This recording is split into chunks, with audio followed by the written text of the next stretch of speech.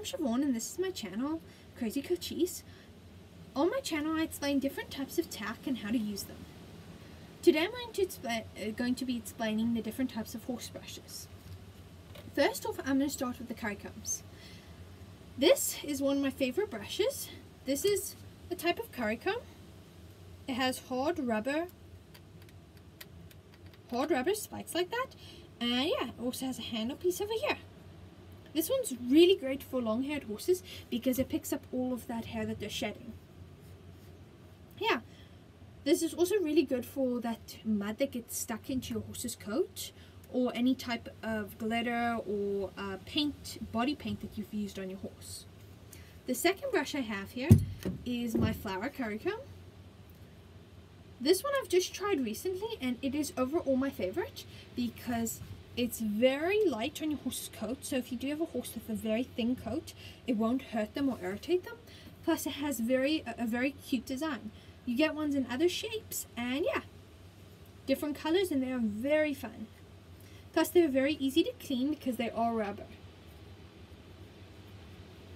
The next one I have here is this basic. It's just a basic curry comb. This one's also very good. Um, it's not so great for horses with with long coats because the spikes are very shallow, so it doesn't get into the coat as well as other brushes do. I like the fact that it has a handle at the back and it's very smooth and yeah.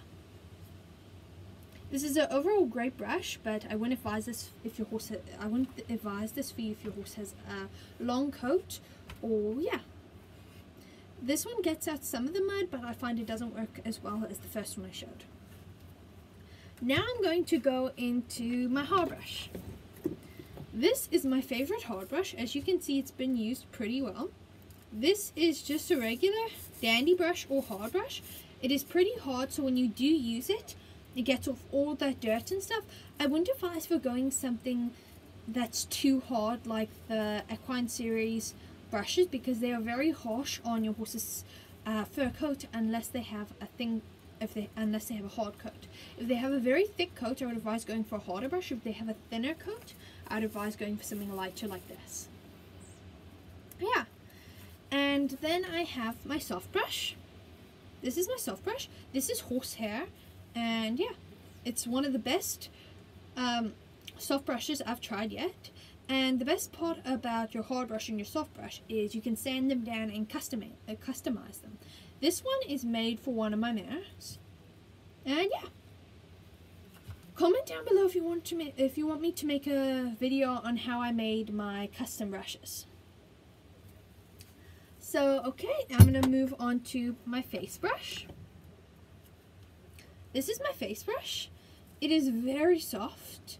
I would I wouldn't never use a hard brush or a soft brush on your horse's face because if your horse does have some sort of um, bacteria in its coat, it can spread it to its eyes and its nose and around its face. So I would have a separate brush for your horse's face.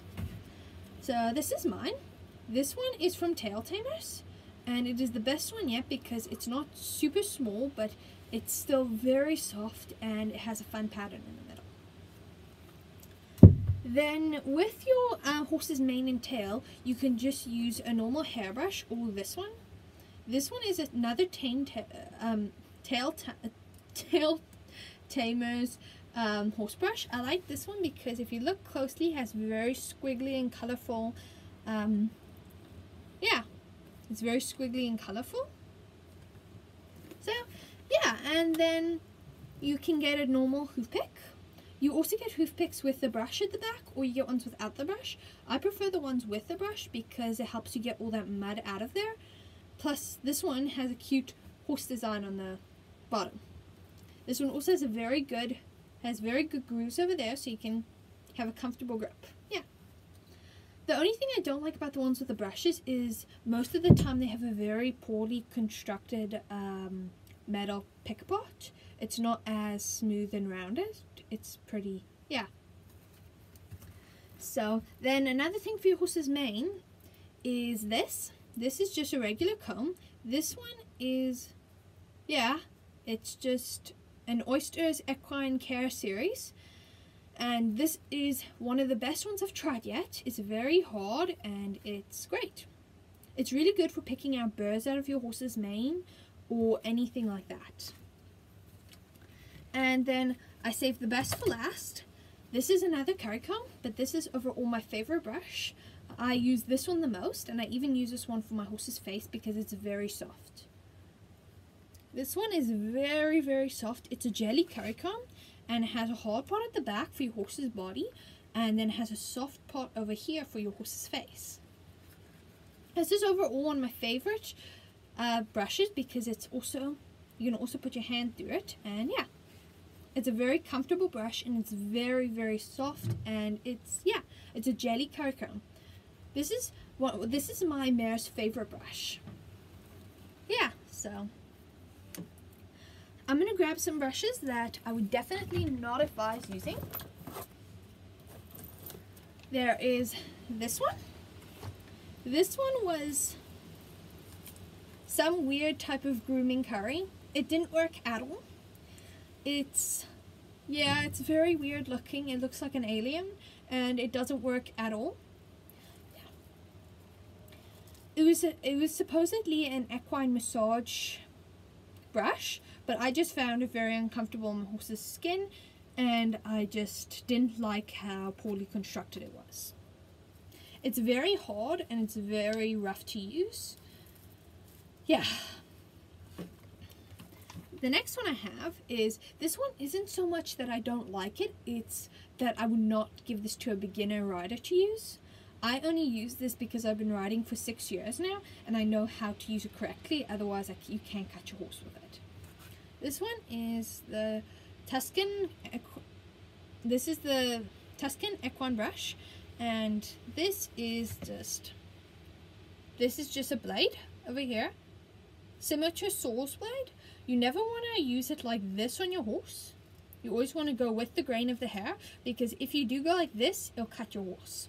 You can even feel it gently on your fingers and feel which direction you should be going. You should be going like this and never like this. Otherwise it can cut your horse open.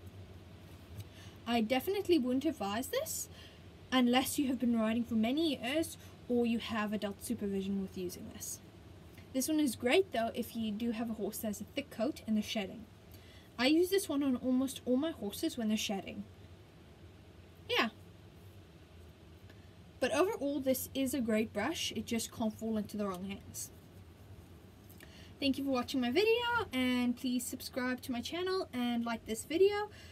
In the comment section, please leave ideas for future videos and yeah.